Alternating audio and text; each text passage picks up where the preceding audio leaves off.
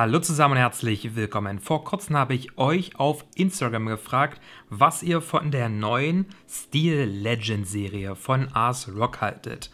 Das Resultat war eindeutig, macht doch auf jeden Fall bitte mal ein Video.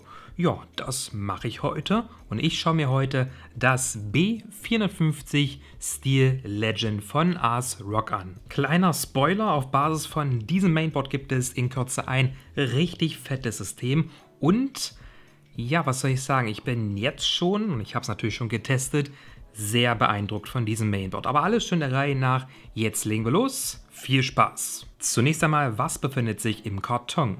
Die I.O.-Blende, SATA-Kabel, M.2 Schraubmaterial, eine Treiber-DVD, ein Benutzerhandbuch und ein Software-Guide. Vorab erstmal noch ein paar Eckdaten zum Mainboard B450-Chipsatz ARM4-Sockel. Bis zu 64 GB DDR4 sind möglich. Es gibt dann noch den ALC 892 Soundchip und 5 4-Pin PWM Lüfteranschlüsse. So meine Freunde, schauen wir uns mal das B450 Steel Legend etwas genauer an. Hier fällt eines sofort auf und zwar das ausgefallene Design. Über das ganze Mainboard verteilt spendiert Ars diesem Mainboard eine Art Camouflage-Design. Auch die große Abdeckung des I.O.-Panels fällt direkt ins Auge. Kommen wir aber mal zu den internen Anschlüssen. Unten gibt es Frontpanel Audio, einen 12 Volt RGB-Anschluss, zwei USB 2.0 Anschlüsse, einen 5 Volt RGB-Anschluss, die Möglichkeit, zwei Lüfter anzuschließen und last but not least das Systempanel. Auf der rechten Seite befinden sich sechs SATA-Anschlüsse und ein USB 3.1 Anschluss. Das Steel Legend Brett bietet insgesamt super viele PCI Express Anschlussmöglichkeiten, sechs an der Zahl und nun könnte ich euch alle sechs nennen, wie die jetzt angebunden sind und so weiter und so fort, aber ich denke viel wichtiger ist, wie dessen Belegung ist. Natürlich kommt in den oberen X16 Steel Slot die Grafikkarte und wird dann gleichzeitig eine M.2 SSD in den darüberliegenden Slot verbaut, dann wird der zweite X16 Slot, der allerdings nur mit vier Lanes angebunden ist, deaktiviert und somit bleiben der GPU an sich die üblichen 16 Lanes. Sofern der zweite M.2-Slot im unteren Bereich genutzt wird, werden die SATA-Ports 3 und 4 deaktiviert. Ach ja, nicht zu vergessen, angebunden ist der obere M.2-Slot mit PCI Express 3.0 und 4 Lanes und der untere Slot ist mit PCI Express 3.0 und 2 Lanes bzw. SATA 3 angebunden. Das I.O. Backpanel stellt insgesamt 8 x USB bereit, außerdem diverse Soundanschlüsse und für eine APU gibt es HDMI und einen DisplayPort-Anschluss. So, dann würde ich sagen, schauen wir mal unter die Haube bezüglich des VRM-Bereichs. Schön zu sehen ist auch hier in dem Fall, dass das Mainboard bereits mit dem dickeren Kühlpad für den VRM-Kühler ausgestattet ist, anders als bei sehr frühen Versionen des B450 Steel Legend.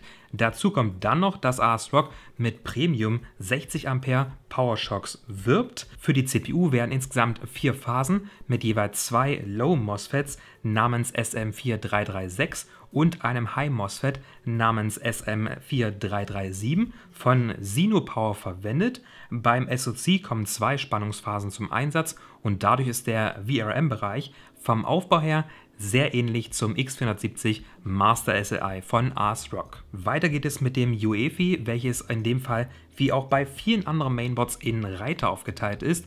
Unter dem Punkt Main finden wir Informationen zum BIOS bzw. der UEFI-Version, zur eingebauten Hardware wie CPU und Arbeitsspeicher und dessen Takt als auch Kapazität. Im nächsten Reiter OC Tweaker kann ich dann die einzelnen Einstellungen anpassen, wie zum Beispiel CPU-Taktung und CPU-Spannung und darunter gibt es da noch den Bereich für den Arbeitsspeicher oder man aktiviert zum Beispiel wie ich das XMP-Profile für den von mir verbauten Arbeitsspeicher das funktioniert ohne Probleme. Auch die Übertaktung funktioniert in dem Fall sehr einfach und stabil. Und die restlichen Seiten sind klassisch einfach Basic Stuff, die in meinen Augen keinerlei spezielle Erklärung benötigen. Wodurch das Mainboard ebenfalls hervorsticht, ist die Polychrome RGB-Beleuchtung. Diese sitzt unter dem I.O.-Cover und dem Chipsatzkühler und lässt sich unter anderem per Software steuern und mit anderen Polychrome-kompatiblen Geräten synchronisieren über zwei RGB 4-Pin 12 Volt und einen 3-Pin 5 Volt Anschluss lassen sich LED-Lüfter oder auch LED-Stripes anschließen. So viel zur Theorie, jetzt kommen wir zum Praxistest. Ich teste im ersten bzw. obersten M.2 Slot eine Samsung 960 Pro und anhand der gemessenen Werte kann ich hier generell keine Limitierung durch den M.2-Slot feststellen und verglichen mit dem B450F Gaming von Asus ist das Steel Legend minimal besser, allerdings im Grunde nicht wirklich merkbar oder super krass besser. Kommen wir damit zur SATA-Schnittstelle. Hier liegen die gemessenen Werte im üblichen Bereich der verwendeten MX500 SSD. Auch hier ist das Steel Legend besser als das F-Gaming von Asus. Somit kommen wir jetzt zum Overclocking-Test B450 Chipsets. Damit kann ich natürlich super easy cheesy übertakten. Wie gut das Ganze funktioniert, teste ich mit einem Ryzen 7 2700X. Ziel sind 4,1 GHz und das funktioniert mit angepasster Spannung auf diesem Mainboard sehr gut. Ebenfalls habe ich das XMP-Profile für den Arbeitsspeicher geladen und das Resultat sind 1838 Cinebench-Punkte. Wichtig beim Übertacken, kühle Spannungswander und hier habe ich mal die Temperaturen der Kühlkörper gemessen. 64 Grad, soweit so gut. Doch zum letzten Mainboard-Video gab es von euch konstruktive Kritik, dass ich doch bitte mal, falls möglich, die Spannungswander direkt messen soll. Ja, kein Ding, meine Freunde, mache ich doch glatt und so habe ich hier in dem Fall den größten Hitzespot auf der Rückseite des Mainboards ermittelt und einen Thermosensor angebracht mittels Wärmeleitpad und Klebeband. Maximale Belastung durch den Blender Benchmark bedeutet für die Spannungswander nach 15 Minuten maximal 73 Grad. In der Regel liegt die Maximaltemperatur für VRMs bei ca. 105 Grad und somit in dem Fall kein Grund zur Sorge. Die Temperaturen der Spannungswanner sind super wichtig, das sollte mittlerweile klar sein. Wenn diese einfach zu hoch sind, dann bricht die Taktung der CPU kurzzeitig ein.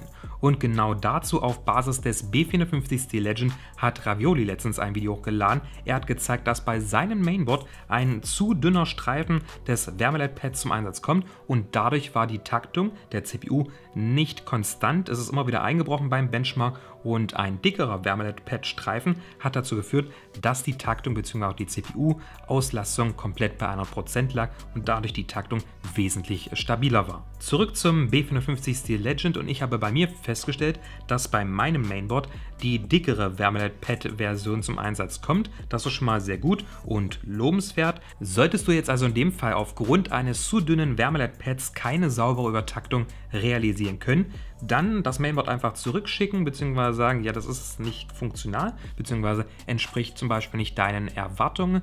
Mainboard tauschen lassen durch den Verkäufer oder Händler und ja, ihr könnt auch gerne zum Beispiel auf mein Video als auch auf das von Ravioli hinweisen, wo das Ganze nachgestellt wurde.